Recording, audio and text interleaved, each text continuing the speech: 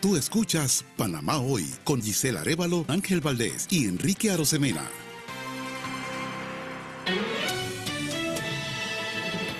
Entrevista de actualidad, Panamá Hoy.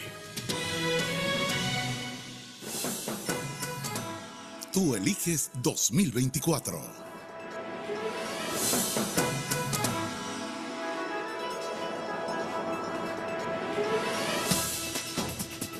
7 y 49 de la mañana nos acompaña a esta hora Adolfo Valderrama y vamos a estar haciendo un análisis de la actualidad política en este momento en el país. Buenos días, señor Valderrama.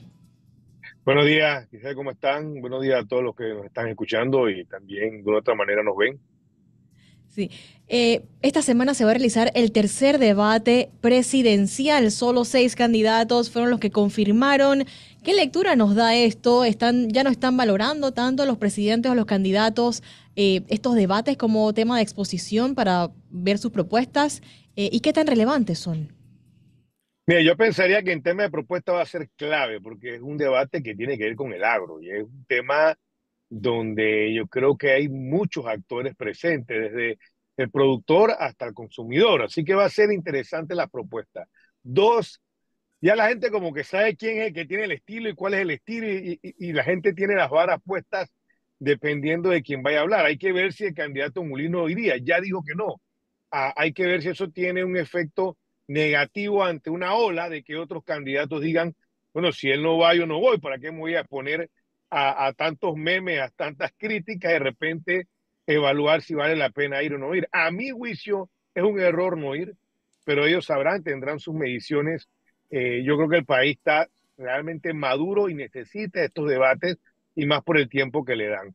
Eh, altas expectativas para el que lo ha hecho relativamente bien, que lo haga mucho mejor y quien lo ha hecho bien que se mantenga. O sea, yo creo que eso es parte de, del escenario. Veremos cómo han vestido, porque ahora la vestimenta también se ha vuelto como parte de, de, de, lo que la gente tiene en altas expectativas sobre eh, el debate. A mí me hubiera gustado que fueran provincias centrales. Creo que dos debates en Chiriquí eh, deja por fuera a, cuatro provincias también que se dedican mucho al tema productor. Y esto no es un tema para entrar entonces en discusión de por qué aquí y por qué no, pero ya uno en Panamá, uno en Chiriquí, y ese ha sido ideal recorrer todo el país desde provincias centrales. Pero bueno, en Chiriquí, es hermoso, también cabe. Usted ha mencionado los que lo han hecho bien, los que no, lo han hecho también. ¿Quiénes serían esos lista? ¿Quiénes han tenido una buena participación en estos dos debates anteriores? ¿Y quiénes les falta todavía entonces para llegar a lo que se espera dentro de esta plataforma?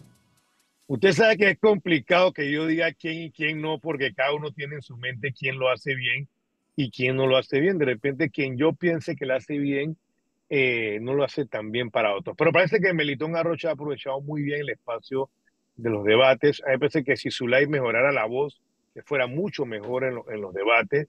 Me parece que eh, en el último debate Lombana lo hizo mucho mejor, por ejemplo, que la primera vez.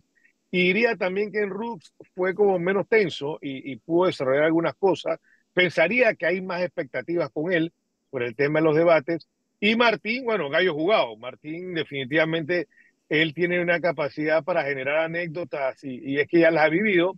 Sin embargo, la última vez lo vi como, lo vi como cansado. Entonces yo creo que uno de los consejos a, a los que están en este proceso es que en un debate se trata de ir no solamente descansado, sino con una mente hábil y para que eso se dé hay, dejar de, hay que tratar de, que, de no tener tantas cosas en agenda, tanta eh, discursos, se levantan a las 4 de la mañana. O sea, la adrenalina empieza a jugar un factor clave en estas elecciones y la presión de los candidatos, de ellos, de querer ganar, ya empieza, como dice, con todo regresivo.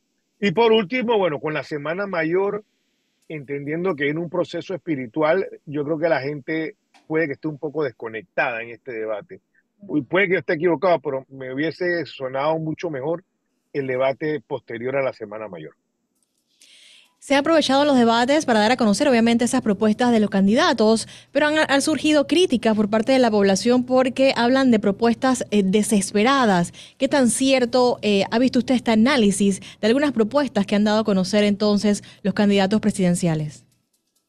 Yo creo que las ganas de querer conectar con un segmento de la población que a, luces, a todas luces pareciera que cuando miden se ve como una problemática en el desempleo, en el costo de la vida. Están viendo cómo eso eh, se valoriza en la masa, como se llama el triángulo de las propuestas, ¿no?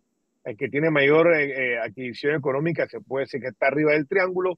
La clase media, que es la clase que de otra manera está definiendo esta elección, independientemente de la edad, es otro sector y la parte baja que ve mucha incertidumbre. Entonces, las propuestas, a veces hasta cuando se dicen mal, puede ser una estrategia para estar en la mente del, del, del votante. Sin embargo, hay que evaluar cómo están en la mente del votante y si la gente cree en las propuestas.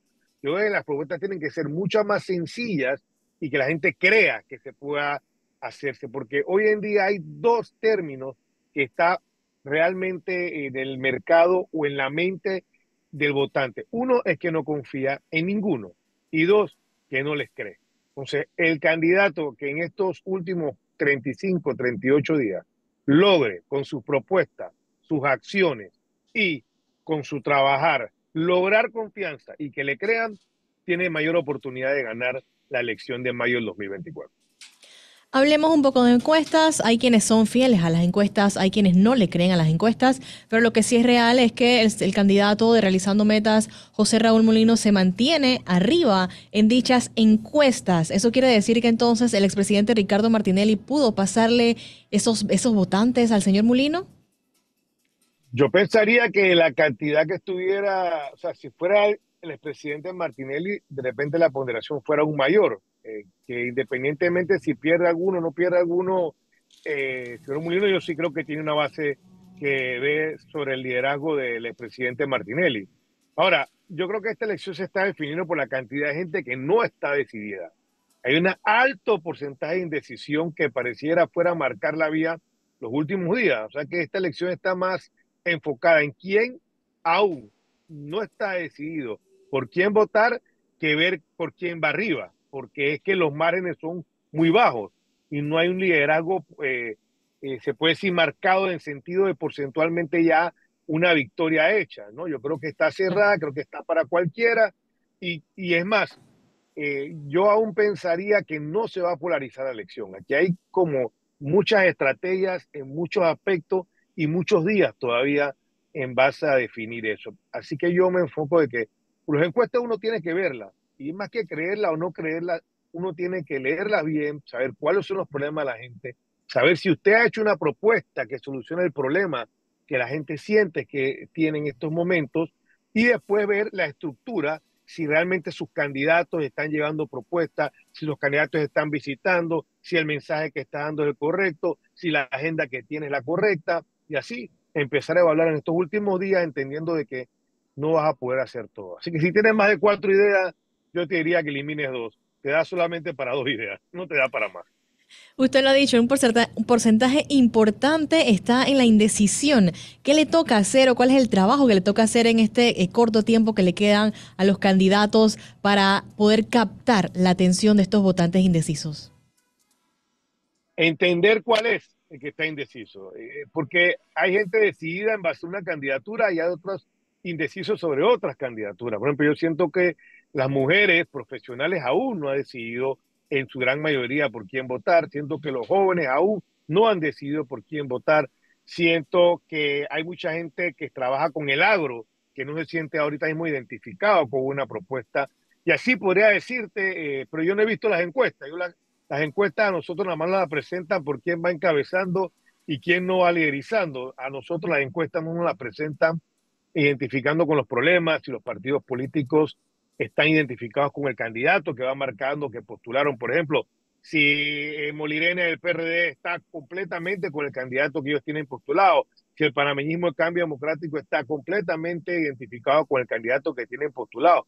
Y esas cosas hay que ver si están escapando, cómo está el de libre postulación, todas esas cosas. Y, es un conglomerado de, de, elección, porque si usted tiene un buen candidato a representante y un buen candidato a alcalde, y usted tenga la seguridad que el candidato a presidente de ese corregimiento y de ese distrito tiene una oportunidad de ganarla en esa área. Y así uno va, haciendo el famoso semáforo, donde me veo verde, donde me veo amarillo y dónde me veo rojo. Y en base a ese semáforo, implementar las estrategias, no solamente de propuestas, sino de visitas, de llamadas y de que salgan a votar, que el día de va a ser importante para estas campañas.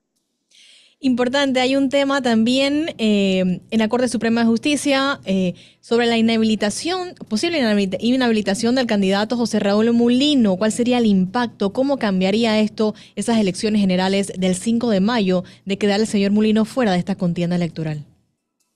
yo sinceramente creo que hay tanta desconfianza y tanta falta de credibilidad que eso no ayudaría en nada a, a dar mayor confianza, mayor credibilidad a los votantes, y a todo, porque es un proceso que ha, agarrado mucho tiempo y a 30, 40 días inhabilitar un candidato presidencial, eh, bueno, teniendo justificación o no, porque la norma la norma, yo, yo me iría más por el aspecto de que, entendiendo de que esto podía pasar, nunca debieron prever, nunca debieron dejar que eso pasara. el Tribunal Electoral avala la candidatura del candidato Mulino y posterior entonces hay como un debate si si tiene la viabilidad legal o no. Yo pensaría que no aporta en nada a la democracia una decisión como esa. No soy abogado, eh, pero mi sentido común indica de que es complicado eh, que la ciudadanía entienda de que una fórmula completa deja de ser parte de la elección a 40 días de la misma. Eso yo no sé si es fácil de que la gente pueda darle credibilidad o confianza al proceso electoral eh, teniendo que eso puede pasar. Excelente, muchísimas gracias Adolfo Valderrama analizando con nosotros esta mañana ese tema de actualidad política que todavía sigue siendo tema y seguirá siendo tema en los próximos meses. Que tenga excelente día. Muchas gracias. Igual para ustedes.